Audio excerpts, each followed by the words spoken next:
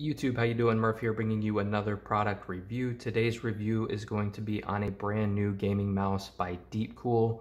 This is the Deepcool MG510 and a lot of you might already be pretty familiar with Deepcool. They are known mostly for their cooling options for desktops and laptops and things like that. And they are now releasing some new gaming peripherals, starting with this gaming mouse right here, the MG510, and then also their new gaming keyboard this right here, which is the Deepcool KG722. I'm doing a full review on this as well. Both of these videos should go up roughly the same time on my channel, so if you're interested in seeing that, that should be live on my channel by now as well. But as far as this gaming mouse goes, this is a wireless gaming mouse, and we're gonna get into all the specifications and talk just a little bit about the software and things like that. But as usual, we're gonna start off by talking about the design and the build quality. Now, as far as the build quality is concerned, I really have nothing but good things to say about this mouse. The plastic they have used here feels very strong and durable.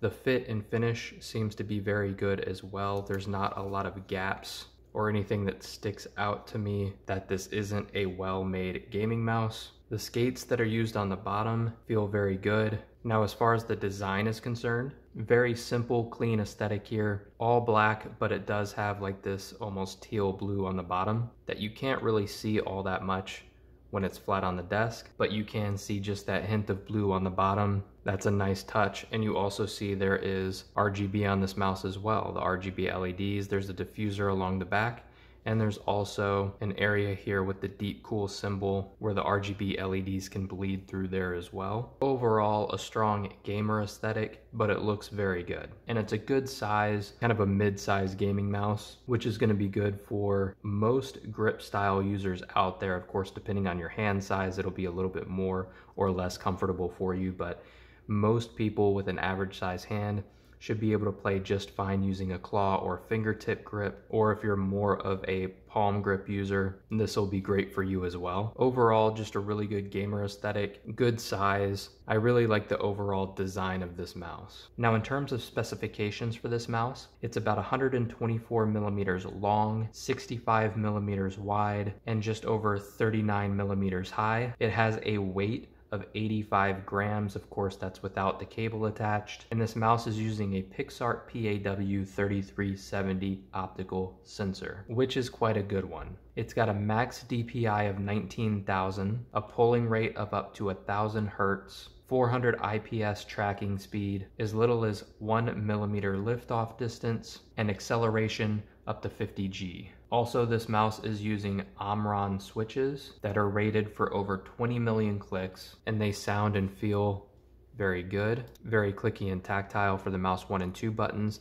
The side buttons are very tactile as well, which is great. A lot of times on a gaming mouse, those are the two worst buttons. Those side buttons can typically feel a little mushy, and that is not the case here at all. The scroll wheel feels very good. It's smooth, but you can still feel the individual steps in between. Pushing in on that scroll wheel, again, very tactile. And the sixth mouse button, which by default is going to control the RGB functions on the mouse, is quite tactile as well. Overall, these buttons and switches feel great. Also, this mouse is wireless, and it has great battery life up to 36 hours on a single charge. Of course, that's without lighting. With the lights continuously on, that's probably gonna be somewhere closer to about 30 hours or so. But you're looking at approximately 35 hours of battery life. But you can use this in wired mode as well. It's got a detachable USB-C cable, and it's got kind of these cutouts on the inside I don't know how well that camera is going to pick that up, but that corresponds with the charging cable. So it's going to be a very tight fit. You're not going to have any issues with the cable coming unplugged while you're in the middle of a game session or anything like that. Now, as far as software is concerned, once you download it, this is what you're going to be presented with. And it's really easy and intuitive to use. On the left-hand side here, you have the battery indicator. Down below that, you have the different RGB lighting functions